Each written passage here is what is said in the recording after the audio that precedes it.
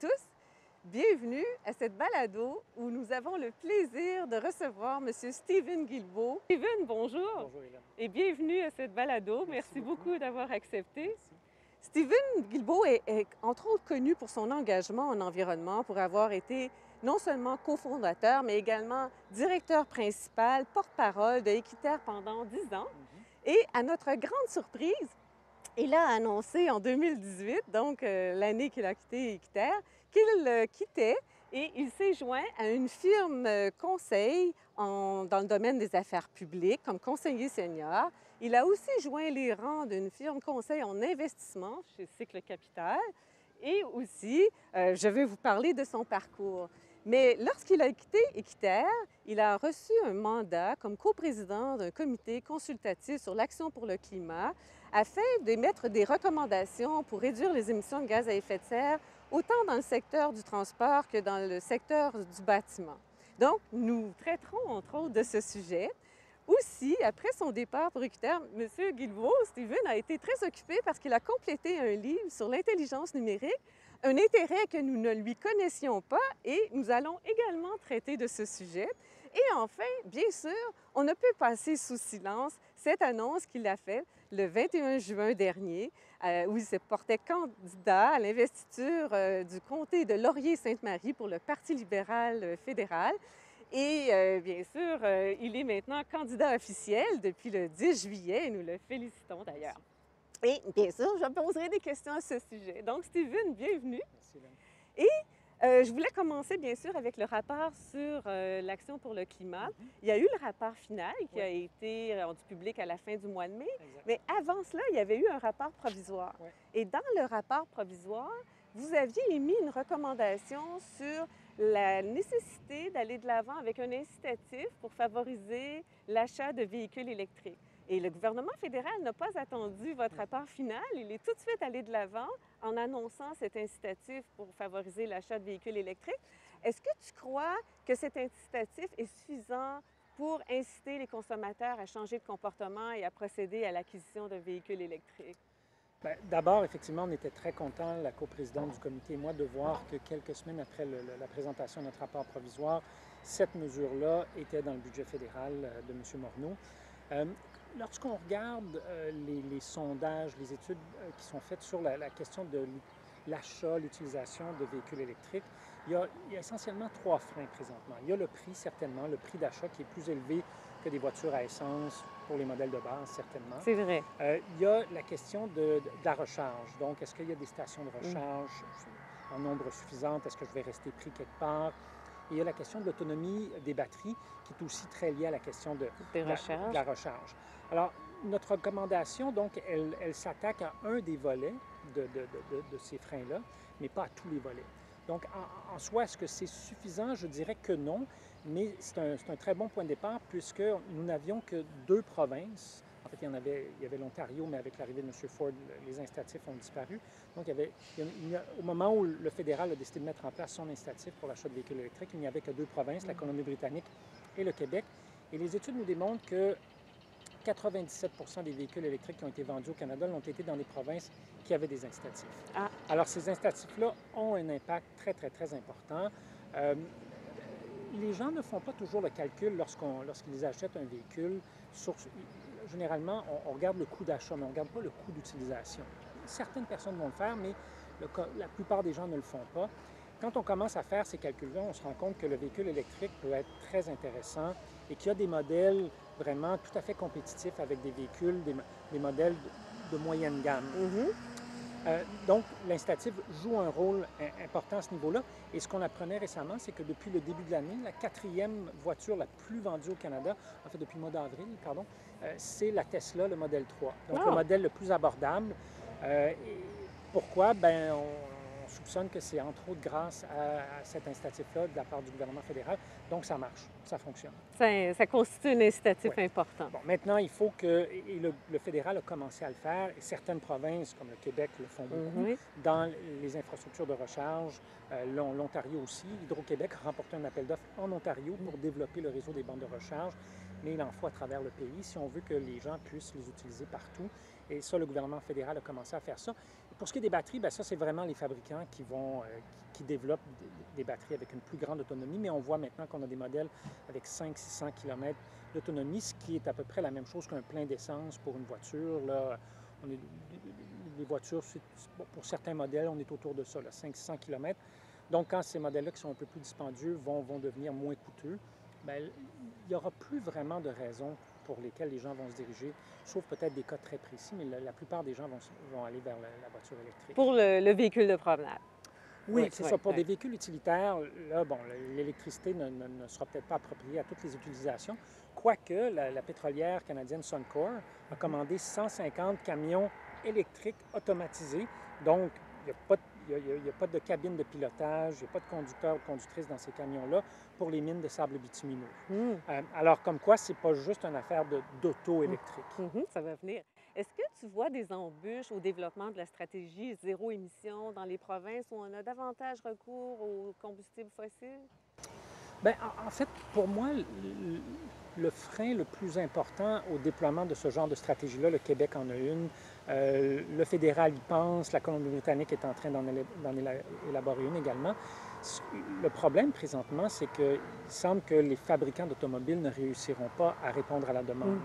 Certains, certains experts estiment qu'il va y avoir une pénurie euh, il va y avoir manque de, de- de- de véhicules électriques tellement ils sont populaires et tellement les compagnies, les fabricants d'automobiles ne sont pas suffisamment prêts, n'ont pas, ont pas les infrastructures nécessaires pour, pour rencontrer cette demande-là.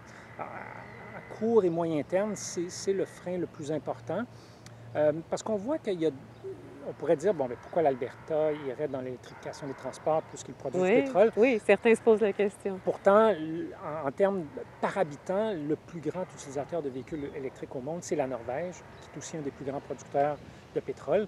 Même que la Norvège a annoncé que d'ici 2025, il sera interdit de vendre des nouvelles voitures à essence sur- sur le marché domestique.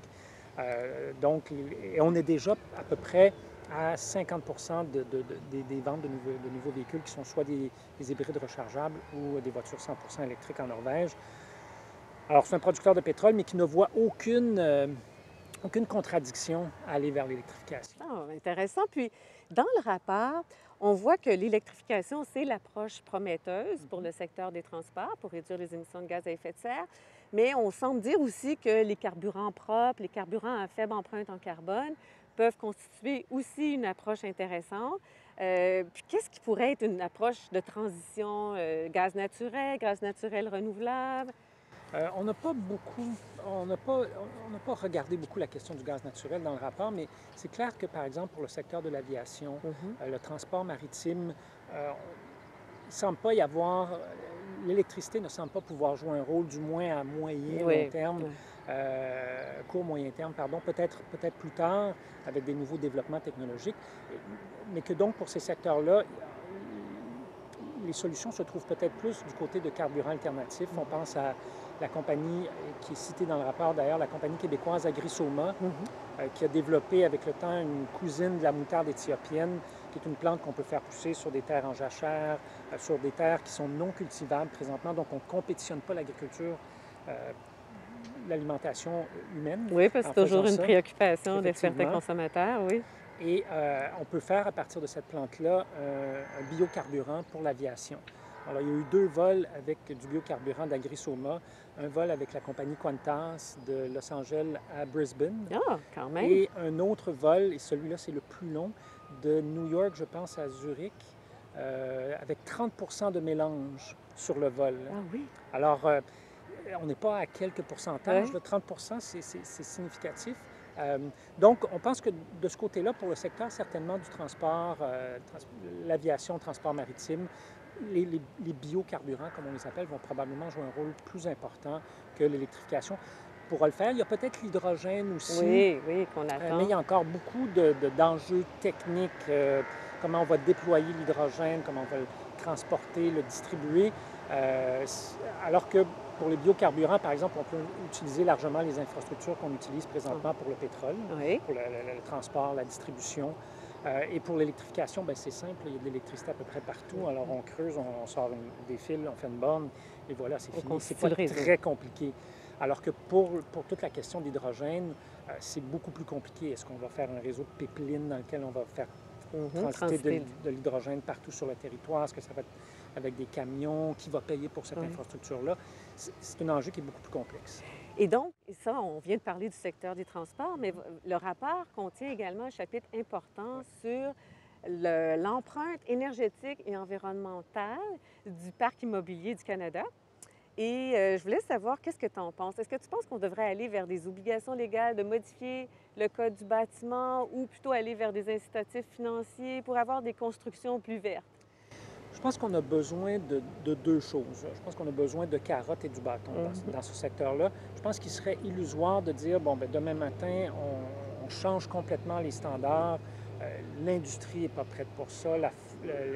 Les experts ne sont pas prêts, quoique nos écoles d'architecture, d'ingénieurs forment des gens de plus en plus éclairés sur ces questions-là.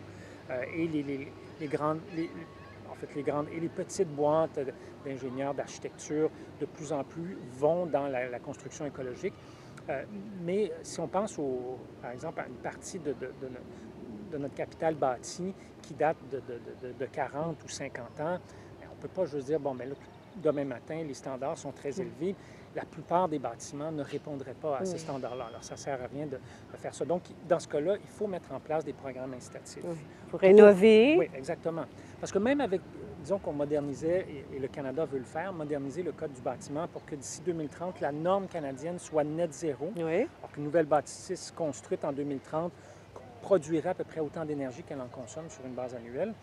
Mais en 2030, à peu près, 60, à peu près 70% des bâtiments qu'on voit autour de nous seront encore là. Mhm.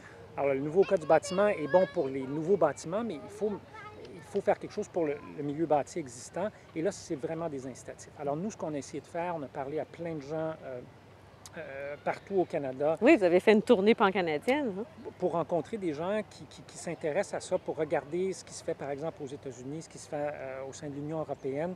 Donc, comme, quels sont les incitatifs qui fonctionnent pour amener des propriétaires de bâtiments à dire, bon, ben moi, je vais investir, mhm. parce que c'est pas toujours évident, là, si tu es, propriétaire, puis tes logements sont tout le temps loués, pourquoi tu investirais? Mhm. Alors, il faut trouver des façons de, de rendre ça plus intéressant. Oui, effectivement.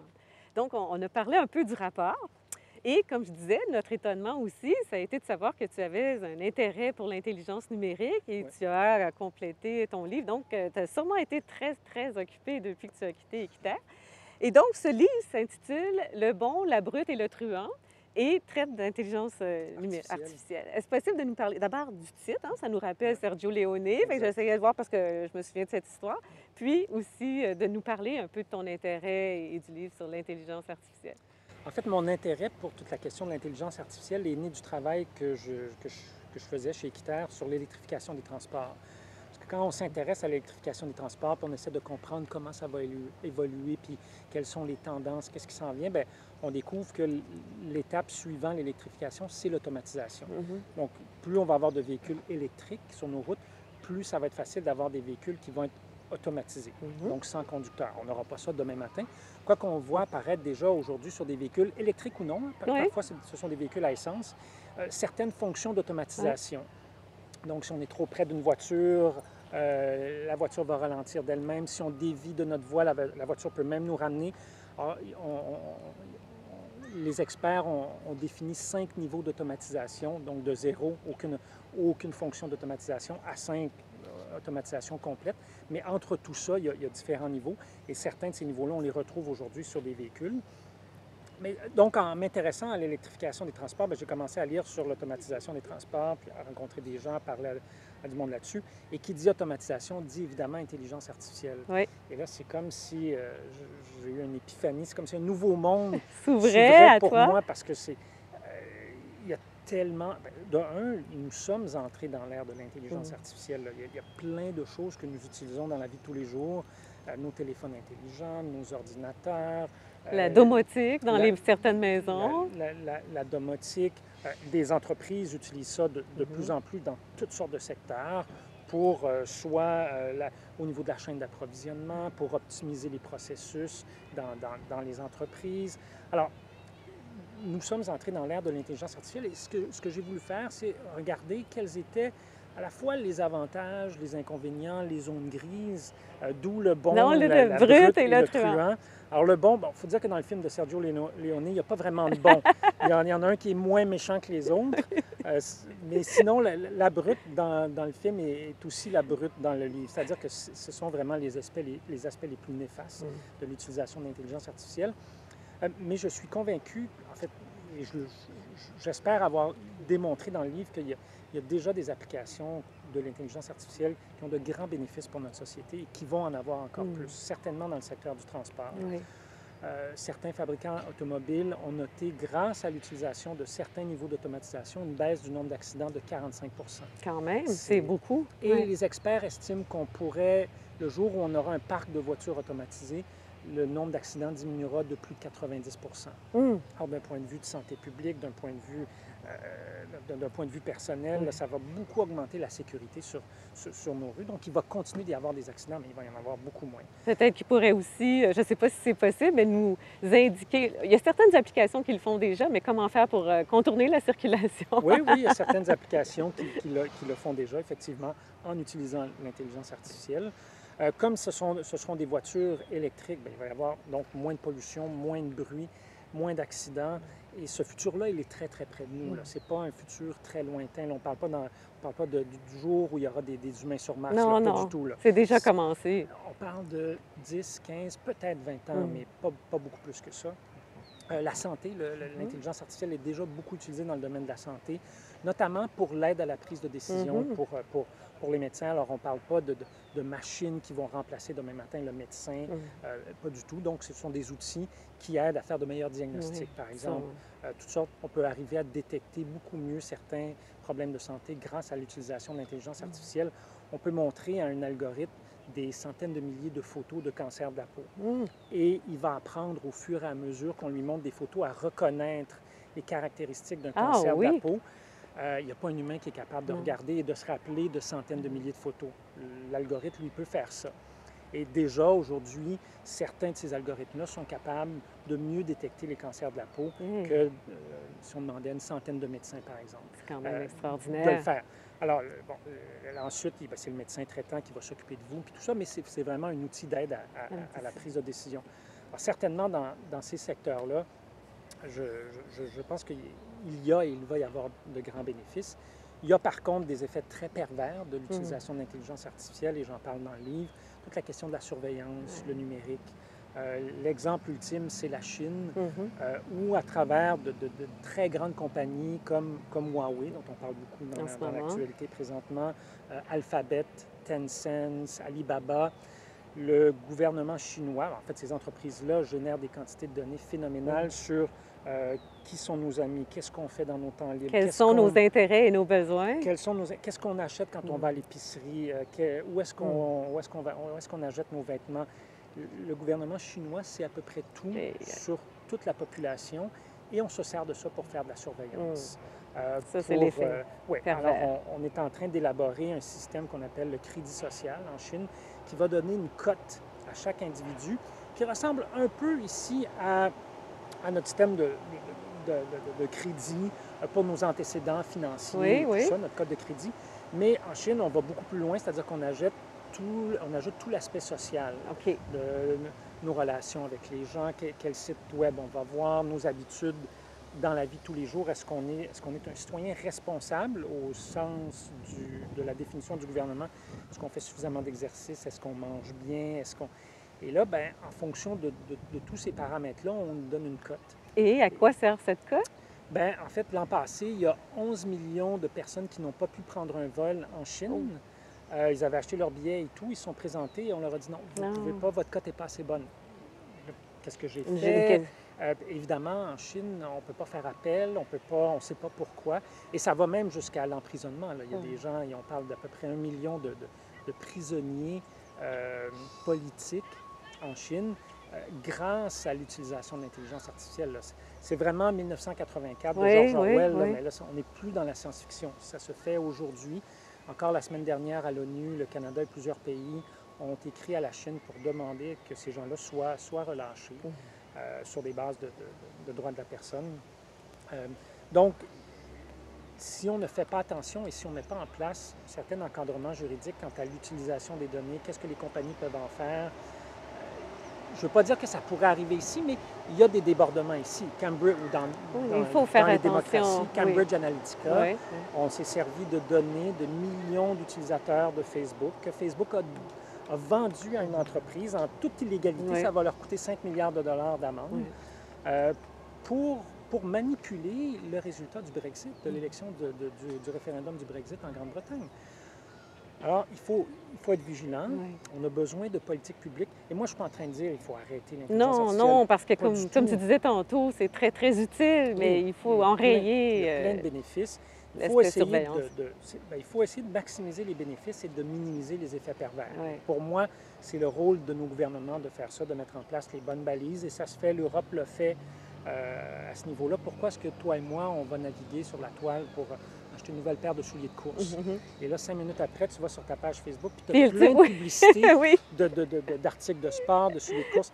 Mais ça, ça veut dire qu'il y a quelqu'un qui a pris ton information à toi, qui l'a vendu à quelqu'un d'autre pour, pour en faire de la publicité? Hmm. Tu n'as pas été consulté, tu n'as pas une cote sur cette transaction-là. Pourtant, c'est ton information à toi, Oui. Hélène Nozon, qu'on a vendue. Alors, il- il faut, il faut mettre en place des balises pour que. Moi, je ne suis pas en train de dire qu'il faut fermer les réseaux sociaux non plus, mais il faut mieux les baliser. Oui, tu as, tout à fait raison parce que c'est- euh, c'est la même chose, l'acquisition de livres. On le voit des fois, on achète des livres, puis euh, tu as- tu as raison, on nous dit ben, probablement que ce livre ou ces livres-là pourraient vous intéresser. Alors oui, hein, soyons prudents. Ouais. Mais donc, c'est très fascinant, puis on ne connaissait pas cet intérêt-là que tu Moi avais, non donc plus, merci parce que tu nous ouvres. Puis, puis moi, euh, depuis qu'on en a parlé aussi, depuis que ton livre est paru, je me disais, il y a sûrement des applications possibles dans le domaine de l'environnement. Alors, jusqu'où, tu sais, c'est pas pour poser un diagnostic, comme tu le disais, c'est pas pour remplacer la décision, mais comme outil d'aide à la décision, je pense que ce sera intéressant de voir l'évolution dans le domaine de l'environnement. Ben, je te donne un exemple. Je fais du bénévolat depuis un bout de temps pour le, le- le centre de recherche sur les mammifères marins de Mingan. Ah oui? Euh, et une des choses qu'eux font, c'est de la reconnaissance d'individus. Donc, ils ont un catalogue qui date d'à peu près 40 ans des individus qu'on voit dans le fleuve Saint-Laurent. Alors, ils prennent une photo, là, ils reviennent à bord, ils sont sur le fleuve Saint-Laurent, ils reviennent à bord, ils font imprimer la photo, et là, ils regardent dans leur catalogue, puis bon, ils disent, bon, mais ça, c'est Georges, puis Georges, on l'a vu en 2017, puis en- mais tout ça se fait à la main. Et c'est c'est essentiellement le travail de deux personnes qui sont là depuis très longtemps. Ces deux personnes-là partent, puis on perd, La notamment sur la connaissance. baleine bleue, là, on perd plus de la moitié de la connaissance humaine sur la reconnaissance des individus Oui, des oui. baleines bleues dans le monde. Oui. Deux personnes. Alors là, on a eu une rencontre avec les gens d'Element AI, Oui. euh, donc qui est une entreprise qui est dans le domaine de l'intelligence artificielle, qui a, qui, a, qui a développé une espèce de fondation qui s'appelle euh, AI for Good, Artificial Intelligence for Good. Et là, je leur ai dit, ben, pensez-vous qu'on pourrait... Puis on dit, ben oui, c'est sûr, Oui. on peut utiliser les satellites, développer un algorithme qui va reconnaître à partir des nageoires les taches sur les baleines. Et là, la- les gens vont être sur le bateau, ils vont prendre la photo, puis ils n'auront pas besoin d'aller voir dans leur catalogue. L'algorithme va leur dire, ben ça, c'est Georges. Oui. Comme ça. Et donc, euh, mon prochain sujet avec toi, ça a été l'annonce. hein, euh, surprenante probablement pour plusieurs personnes, moins surprenante pour des gens comme moi qui me disaient qu'un jour, sûrement, que tu allais faire le saut. Mais euh, le 21 juin, donc, à date de l'annonce, où tu euh, nous disais que tu euh, présentais ta candidature à l'investiture du parti dans le comté libéral, Laurier. Oui, Parti libéral du Canada, dans le comté Laurier-Sainte-Marie. Et puis, bien, je vais lire quelque chose avant que je te pose cette question-là. Euh, je voulais lire un peu quelque chose de ta biographie qui va peut-être nous permettre de comprendre certaines choses où on dit euh, tu es très apprécié pour tes talents de vulgarisateur et de communicateur. Et euh, tu as donné de nombreuses conférences à travers le Canada. Tu as aussi été très présent dans les médias. hein. Tu as euh, notamment été chroniqueur pour Radio-Canada, La Presse, Corporate Night. Puis tu as tenu une chronique euh, dans le journal Métro pendant euh, dix ans, oui. Puis tu as été président du comité de développement durable de la Chambre de commerce Montréal métropolitain et coprésident du comité conseil sur les changements climatiques depuis Ensemble. 2011, oui, 2011 à 2018. Donc, je me dis, c'est certain que tu es un excellent communicateur et sûrement que ça fait partie aussi de tes forces en politique, mais pourrais-tu d'abord nous dire pourquoi tu as décidé de faire le saut en politique? Euh, il y a plusieurs raisons qui m'ont, qui m'ont amené à faire ça. Alors moi, je suis un militant écologiste depuis 25 ans. J'ai, j'ai- j'ai toujours fait ça, euh, tout de suite après l'université. Euh, c'est, c'est- c'est ce que j'ai toujours fait. Donc, j'ai, j'ai toujours été à l'extérieur du pouvoir Mhm. et comme toi et moi, on le fait par exemple en étant en co-président d'un comité aviseur sur les changements climatiques. Donc, on, on avait l'opportunité de rencontrer des élus, des ministres, de, de faire des rapports, de proposer des choses. Mais j'ai jamais été euh, au sein d'une formation politique, au sein d'un gouvernement où là, c'est toi qui tiens le crayon, avec des collègues évidemment, pour, pour rédiger les projets de loi, les projets de règlement, pour donner cette direction-là à une nation. euh, et là, j'avais envie de- d'essayer de voir si. Je, pense avoir bien servi ma société depuis 25 ans Mhm. et j'aurais pu continuer à faire ça puis être- continuer d'être très heureux, mais je me suis dit peut-être que en allant en politique, je vais pouvoir en faire un peu plus. C'est-à-dire Mhm. que l'impact va être, va être plus important si, si je, si je réussis mon pari. Il n'y a rien qui, il y a rien qui le garantit, mais j'avais j'avais envie d'essayer. Euh, je crains un peu une certaine montée, notamment en Amérique du Nord, des, des intolérances. de- Oui, j'ai lu ça dans ton discours euh, quand- Euh, lorsque ça- tu as annoncé ta candidature, Ça, ça m'inquiète beaucoup. Puis on ne le voit pas juste en Amérique du Nord, on le voit en Europe, on le voit ailleurs avec la, la- la fameuse crise migratoire, par exemple, Euh, mais aussi le- le- les droits des femmes qui sont très menacés aux, aux États-Unis présentement. Et, et- et au Canada, ce n'est pas les États-Unis, c'est sûr, mais, mais ces courants-là sont présents aussi. Euh, et, et moi, ça, ça- ça me fait peur. Euh, ça- et je- J'espère qu'en me lançant en politique, je vais pouvoir aider une formation qui est beaucoup plus ouverte sur ces questions-là, notamment sur les questions d'environnement, euh, et qui l'a démontré, malgré le fait que je ne suis pas d'accord avec l'une de leurs décisions. Euh, je, je trouve que c'est un gouvernement qui a été très dynamique sur, sur la question de la protection de l'environnement en général, particulièrement sur la question des changements climatiques. Alors, si je peux aider à faire avancer un peu euh, notre société dans la bonne direction, ben, je, je- je serai heureux de le faire. Puis je vais te poser une question qui t'a sûrement été posée. Pourquoi avoir choisi le Parti libéral du Canada plutôt, par exemple, que le Parti vert où on aurait pensé à une Mm. allégeance peut-être plus naturelle? Au fil des années, j'ai effectivement côtoyé euh, des gens d'à peu près toutes les formations politiques. Mhm. J'ai été approché par plusieurs, euh, au fédéral en fait, euh, toutes sauf une. Euh, et- j'ai beaucoup de respect pour le travail des gens au Parti vert ou au, au Nouveau Parti démocratique. Mais par contre, ces gens-là ne peuvent pas prendre le pouvoir. Euh, Il n'y a, aucun sondage qui nous montre qu'ils ont plus que 16 des, Mhm. des votes. On ne peut pas prendre le, le- le pouvoir avec 16 des votes. Euh, il y a un seul parti qui peut bloquer la route aux conservateurs, et pour moi, c'est le Parti libéral. Et comme je le disais, je- je- et ça, je l'ai dit bien avant d'arriver en politique, c'est le gouvernement Trudeau a fait beaucoup de choses sur ces questions-là. En quatre ans, qu'on me montre un gouvernement qui a, qui a fait preuve d'autant de dynamisme sur cette Au question-là, niveau fédéral? même au niveau provincial. Je veux dire, le Québec fait beaucoup de Oui, choses, mais on a commencé en 2007, notre, notre action climatique, 2006-2007. Donc, ça fait quand même plus de dix ans qu'on Mhm. qu'on- est actif là-dessus. La Californie est certainement un modèle en Amérique du Nord. Ils ont adopté leur première loi sur ces questions-là en 1994. Ouais. Alors, i- i- ils ont une longueur d'avance, plusieurs longueurs d'avance sur nous. Euh, mais je pense que si on regarde en l'espace d'un mandat, un gouvernement qui a, qui a adopté autant de projets de loi, de, de projets de, de, de, réforme, de projets de règlement sur, euh, sur la tarification carbone, l'élimination du charbon de la production d'électricité. Bon, au Québec, on ne voit pas ça, mais au Nouveau-Brunswick, en Nouvelle-Écosse, Mhm, mhm. en Alberta, en Saskatchewan, on produit encore de l'électricité en utilisant Oui. du charbon. Et pas juste la Chine, on parle beaucoup de la Oui, Chine. oui, là, mais on en fait ici, encore. ici oui. aussi. Euh, ce qu'ils ont fait, on parlait de l'électrification des transports, les incitatifs pour la rénovation éco-énergétique. Dans le dernier budget fédéral, il y a quand même 1,3 milliard de dollars pour ça. C'est- il va falloir plus d'argent, mais 1,3 milliard, c'est un, bon début. Euh, ce qu'ils ont fait pour, euh, évidemment, le transport collectif. Le gouvernement de Justin Trudeau a fourni l'investissement ou les investissements les plus importants qu'on ait vus dans l'histoire récente là, du pays pour les, les transports collectifs. C'est pas pour rien si ça- les projets Oui, de partout. partout. Euh, le tramway à Québec, le, le- Le le REM. À Montréal, le prolongement de la ligne bleue. On parle de ramener le tramway dans l'est de Montréal, le projet de train électrique à, à Gatineau, du maire Pedro Jobin. Il y a un train électrique qui est presque complété à Ottawa. Même Doug Ford veut faire du transport collectif oui. avec l'argent du fédéral Oui. en Ontario. Il y a des projets en Colombie-Britannique, en Alberta. Tout ça, ces projets-là ne seraient pas là. On ne parlerait pas de ça, n'eût été de, de ces investissements-là du gouvernement fédéral. Donc, je, lorsque le premier ministre m'a approché, je- j'y ai pensé longtemps. Je me suis laissé désirer, c'est vrai. C'était une grande décision pour moi. Parce que j'avais une position quand même assez enviable. J'étais, comme je disais tout à l'heure, je tenais jamais le crayon, mais j'étais en situation où j'avais une certaine influence sur plusieurs acteurs la- de la scène publique. Mais là, bon, tu, tu décides que tu, tu choisis un camp, tu y vas à 100% puis Ouais. euh, alors ça, ça a été une longue, euh, une longue Réflexion, ah, ça a dû être étourdissant par bout aussi. Ah oui, j'ai eu le vertige. euh, en- je dirais en- la, la semaine avant le 21 et jusqu'à la, la- la semaine dernière, euh, le, le 10 juillet dernier. Oui, ça a été euh, vertigineux. J'imagine. Puis, euh, est-ce que tu crains de te faire des ennemis parmi euh, les groupes environnementaux en ayant choisi le camp du Parti libéral du Canada? Euh, je te dirais qu'il y a déjà des gens qui ne m'aimaient pas avant, que pas. politique parce que euh, ils trouvaient que j'étais pas assez vert ou d'autres qui trouvaient que j'étais trop vert. Donc, j'étais vert pâle pour certains, vert foncé pour d'autres. Alors, les gens qui ne m'aimaient pas ne m'aiment évidemment pas plus aujourd'hui. Mais bon, je, pense qu'on ne fait pas ça pour être populaire. On fait pas, on n'est pas en environnement parce qu'on veut être populaire. On ne va pas en politique non plus parce qu'on parce qu'on veut être populaire.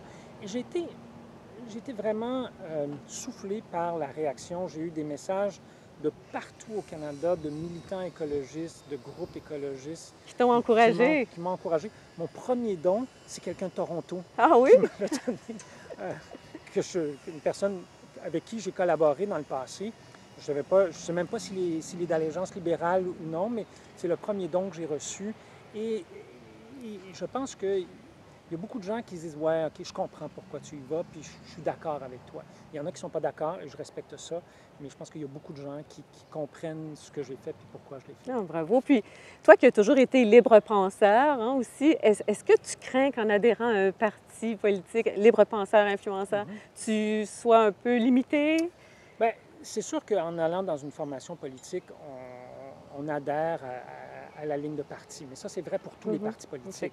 Je veux dire, c'est vrai chez les Verts, c'est vrai au Bloc québécois, c'est vrai au NPD. euh, et parfois, il y, a des, il y a- il y a des tensions. Parfois, les gens ne sont pas d'accord. Euh, c'est tout à fait normal. C'est même comme ça dans nos organisations. Je veux dire, Mhm. est-ce que j'étais d'accord 100% du temps sur 100% des décisions qui étaient prises quand j'étais chez Greenpeace, une- une- un, un groupe écologiste international avec des bureaux dans 40 pays? Mais non. Mhm. Mais bon, on reste là parce qu'on sent que notre contribution est plus importante à l'intérieur qu'à l'extérieur. Puis quand ça ne marche plus, ben on s'en va. Mhm. Alors moi, c'est ce que je vais faire. Je, je, je- je vais rester, je vais apporter la, la meilleure contribution que je peux. Puis quand j'aurai l'impression que j'ai fait le tour, que ma contribution est plus utile, ben, j'irai faire autre Oui. chose. Donc, tu nous as parlé euh, pendant l'entrevue du bilan environnemental, euh, dont tu es très euh, fier. Euh, si on parlait du bilan énergétique, euh, tu avais désapprouvé hein, l'acquisition du Oui. pipeline Transmountain par le gouvernement. Puis euh, là, qu'est-ce que tu penses du bilan énergétique? Puis est-ce que tu penses t'opposer encore? Ou bien, si le gouvernement injectait cet argent-là dans tes technologies propres, tu pourrais revoir un peu ta position? Ben, j'ai, lors de l'annonce le 21 juin de ma candidature à, à l'investiture du parti, j'ai, j'ai réitéré mon opposition euh, au, Au pipeline. pipeline. Euh, j'ai eu plusieurs conversations avec le premier ministre euh, sur, sur cette question-là. Et je lui ai dit, Monsieur le Premier ministre, je ne peux pas, en toute bonne conscience, me joindre à vous et changer, changer ma veste de bord là- là-dessus. Ce serait incohérent, ça, ça nourrirait le cynisme. Les gens diraient, ben là, et il a été, il m'a dit, Steven, pas de problème. Il dit, euh, je veux pas que tu fasses ça, je veux que tu gardes ton intégrité. C'est important pour toi, c'est important pour nous. Euh, donc, alors je ne vais pas les aider sur ce projet-là. Et, et ça, ça a été très clair et ils sont d'accord, ils acceptent ça. Il faut quand même beaucoup de courage pour accepter une dissidence comme ça sur Mhm. un enjeu aussi important. Je salue le courage du, du premier ministre Trudeau. Dire, moi, je suis fait assez fort pour accueillir des gens dans ma gang Qui sont, Sont- dissidents qui sont- sur certains sont- enjeux. mais bon, il y a une Mm. façon de le faire Ouais. aussi. Je suis pas. euh, je- on a discuté ensemble comment, comment on allait faire ça. Euh, alors, on- ça, a, ça a été fait d'un commun, accord. Je ne me suis pas mis dans mon coin, puis euh, ça n'a pas marché comme ça du tout. Pour la suite des choses, ben là, si je fais partie de, l'équipe qui est au gouvernement, je suis député avec le Parti libéral, ben là, je vais- je- j'aurai pris part aux discussions, puis je me rallierai que je sois d'accord ou non. C'est- la, logique, c'est comme ça que ça fonctionne. J'a- J'accepte ça tout, ça tout à fait. Et parfois, je ne serai pas d'accord avec les décisions, puis je, je vais, je vais les accepter au même titre que celles avec lesquelles Oui. je, je serai d'accord. C'est la solidarité hein, Oui, c'est- important dans notre système parlementaire. Bon, il y a d'autres systèmes qui fonctionnent autrement, mais dans notre système, c'est comme ça que ça fonctionne et je l'accepte. Une question que je voudrais poser à Steven, comment crois-tu que les citoyens du Canada réagiraient si le premier ministre était nommé ministre de l'Environnement ou même ministre de l'Énergie?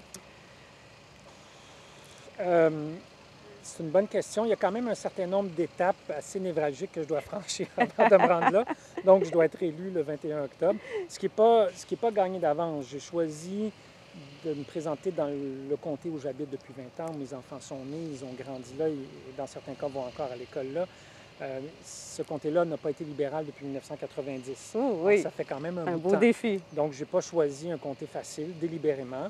Mais si je remporte ce, ce pari-là, si le parti forme le prochain gouvernement, bien là, ce sera au premier ministre de décider comment je peux servir le mieux. Je ne vais pas spéculer sur ce qui pourrait arriver. C'est bien, c'est bien. Puis je pensais que tu allais refuser pour répondre à cette question, mais c'est très bien. Ça lui appartient à, à lui. C'est une décision qui revient au premier Oui. ministre. Puis l'autre question, avant qu'on passe aux questions plus ludiques, Mhm, hein, mhm. euh, la dernière question plus sérieuse, c'est est-ce que tu crois que l'économie et le développement durable sont compatibles? Oui, tout à fait. Je, je- Et j'ai essayé, même en étant écologiste pendant 25 ans, de trouver des façons de faire des rapprochements avec le, le monde des affaires, Oui, Euh, c'est vrai. à plusieurs reprises, d'accepter Oui, je- de présider le comité sur le développement durable de la Chambre de commerce. Alors que j'étais chez Greenpeace, il fallait beaucoup de courage pour qu'on m'invite, puis il en fallait un peu aussi pour accepter de, de- de- de- de ma part. Euh, mais je pense que c'est c'est en, c'est en travaillant plus ensemble, c'est pas en restant chacun dans notre coin qu'on va y arriver. C'est vrai. Puis on ne sera pas toujours d'accord. Puis des fois, il va y avoir des divergences de point de vue, comme à l'intérieur d'un parti politique. Euh, mais, mais je pense que plus on va travailler ensemble, plus on va découvrir qu'on a peut-être plus de choses qui nous rassemblent que, que- qui nous divisent. Puis oui, parfois, il y aura certains désaccords, puis on, on laissera ça de côté, puis on avancera sur les choses où on, où on peut avancer. Alors moi, je- j'y crois. fondamentalement. Euh, et c'est ce que je vais essayer de continuer de faire au cours des prochaines années, ces rapprochements-là. Puis il y a une autre question, c'est vrai, que je voulais te poser, parce que quand j'ai lu ton discours lorsque tu as annoncé ta candidature, tu disais Je me présente, je m'engage, je veux m'engager à changer les choses plus rapidement. Oui. Peux-tu nous dire ce que tu as à l'esprit? Bien, comment est-ce qu'on peut accélérer la transition énergétique, et la transition vers une économie, comme on appelle souvent, sobre en carbone, donc où on, on dépend de moins en moins des combustibles fossiles. Et je comprends que ça ne se fait pas en criant Mm. ciseaux. là. Le pétrole, c'est encore 25% de l'économie en Mm, Alberta. On ne peut pas dire, bon, ben demain matin, c'est fini. Alors, mais, mais- mais- mais plus on va planifier cette transition-là, plus on va y penser, plus on va la réfléchir, plus ça va se faire facilement. Pas facile, mais facilement. Euh, alors, c'est ce que je veux essayer de faire avec, euh, avec le gouvernement Trudeau. Et je pense qu'il y a beaucoup de gens, et le premier ministre lui-même, qui sont convaincus de la, de la nécessité de faire ça. Et mais, rapidement, euh, évidemment... Avec le mot transition, qui doit ben, avoir tout ça, son sens. C'est relatif. Ce n'est pas, pour- c'est pas pour demain matin, mais les décisions qu'on va prendre demain matin vont avoir des répercussions dans les années à venir. Alors, comment on fait ça de façon la plus ordonnée possible? Et nous passons maintenant aux questions plus amusantes que nos éditeurs doivent commencer à connaître puisqu'on les pose à chaque personne qui accepte de se prêter à notre exercice. Quel est le mot que tu préfères le plus dans le vocabulaire du développement durable? Ben, évidemment, c'est le volet durabilité. euh, donc, euh, comment est-ce qu'on peut léguer à nos enfants et à nos petits-enfants une planète en santé, tout en répondant à nos besoins. C'est un peu ramener à une forme un peu simpliste, c'est ça le Oui. développement durable. Oui, oui. Alors, comment, comment on fait ça? Puis bon, s'il y avait une formule qui était facile, tout le monde l'utiliserait. Alors, on, on cherche toutes et tous à... C'est un processus d'amélioration continue, je pense. Je suis d'accord. Alors, ce qu'on faisait hier qui était bon ne le sera peut-être plus demain, puis il faut accepter. C'est un peu insécurisant des fois parce que l'humain, on n'aime pas beaucoup ça, le changement. Mhm. On aime ça, les affaires. Alors, ce qu'on faisait hier, on va continuer de le faire tout le temps. oui. Peut-être que non. Alors, je pense qu'il y a un exercice très, euh, très personnel là-dedans de, de, de s'exposer un peu, puis d'être un peu toujours en déséquilibre, Mhm. puis d'accepter ça, puis de finir par l'embrasser, puis dire, OK, ben ouais, ça c'était bien, mais là, on comprend quelque chose aujourd'hui qu'on ne comprenait pas hier. Changeons nos façons de faire. Hmm. Et toi qui, a- qui inspire et qui a inspiré beaucoup de gens, quelle est la personne qui t'inspire en développement durable?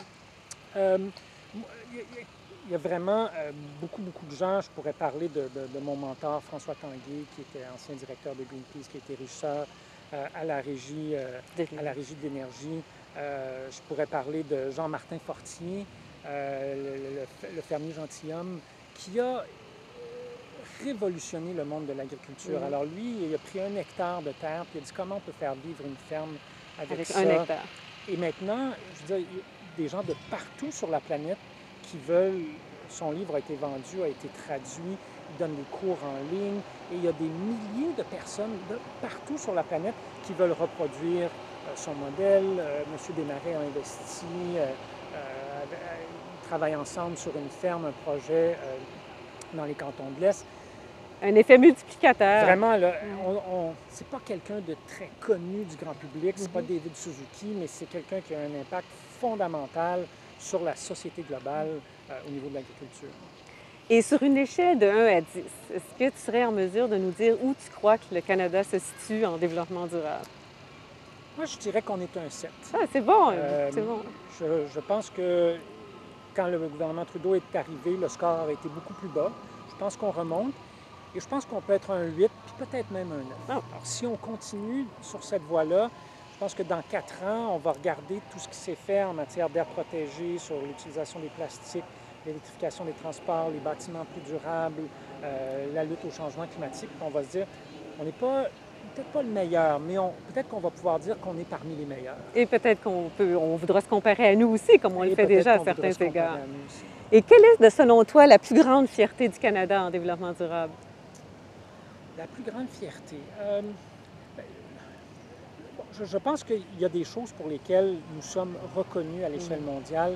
Le protocole de Montréal sur la Mhm. couche d'ozone, Oui. c'est probablement l'un de nos plus grands accomplissements euh, euh, au niveau mondial. Cette, cette entente internationale-là a changé le cours des choses. Pour toutes les questions de qualité de l'air, entre autres. Et pour, la, pour, Les pour la changements couche d'ozone, les rayons UV, euh, lorsque le, le protocole de Montréal est signé à Montréal, euh, la couche d'ozone est en très mauvais état, les cancers de la peau augmentent de façon astronomique. Euh, c'est vrai euh, donc autour des deux pôles, pôle nord, pôle sud, où la, la- la couche est la, est la plus mince. Et là, grâce à ça, les, les recherches nous démontrent que la couche d'ozone prend du mieux. Donc, on avait un problème environnemental planétaire, global, et en travaillant ensemble, on a réussi. On- On n'est pas, c'est pas, réglé, mais c'est en train de se régler. beaucoup. Alors, si on le fait là-dessus, pour- on peut le faire sur les changements climatiques, on peut le faire sur les plastiques. Et ça a été un précurseur pour la suite, hein, d'ailleurs. Absolument. absolument. Et puis, ma dernière question, Steven, c'est euh, entre un arbre, un animal ou une plante, en quoi souhaiterais-tu être réincarné? Je disais que je, je fais du bénévolat pour le centre de recherche sur le mammifère marin de Mingan. C'est sûr que les baleines, euh, les dauphins, j'ai déjà fait du, euh, du kayak de mer au nord de l'île de Vancouver, entouré de, de dauphins pendant quelques heures. C'est une expérience extraordinaire. Mais si j'avais vraiment à choisir, je pense que je dirais une enzyme. Ah, oui? J'ai une, une ex- une ancienne collègue chez Icter qui, qui- qui- qui avait étudié en biochimie et euh, notre, notre blague interne, c'était qu'on était des enzymes, c'est qu'on était des agents qui provoquaient des changements. Hmm. Alors, je pense que, je pense que ça me définit assez bien. J'aime, j'aime à penser que j'opère un peu comme une enzyme. Ah, c'est beau! Steven, merci beaucoup pour cette entrevue, puis je te souhaite bonne chance aussi pour ta campagne. Merci beaucoup, Hélène. Merci, beaucoup. Mm.